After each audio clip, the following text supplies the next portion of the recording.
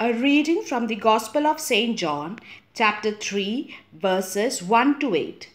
There was a Jewish leader named Nicodemus who belonged to the party of the Pharisees. One night he went to Jesus and said to him, Rabbi, we know that you are a teacher sent by God.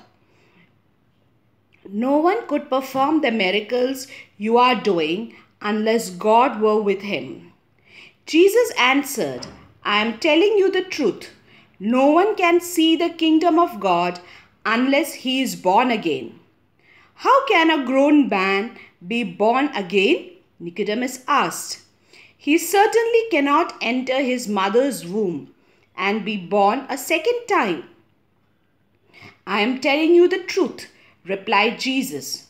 No one can enter the kingdom of God unless he is born of water and the Spirit. A person is born physically of human parents, but he is born spiritually of the Spirit. Do not be surprised because I tell you that you must all be born again. The wind blows wherever it wishes.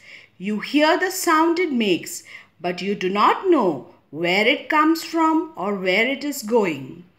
It is like that with everyone who is born of the Spirit. This is the gospel of the Lord. Thanks be to God.